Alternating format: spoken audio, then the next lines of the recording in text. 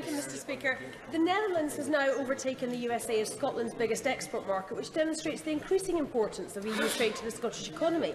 The Secretary of State should be representing the voices and interests of Scotland in the Cabinet. Yeah, yeah. And with respect, he didn't answer the Honourable Lady's question about the, the single market, because representing Scotland's interests can only mean arguing for continued membership yeah. of the single market.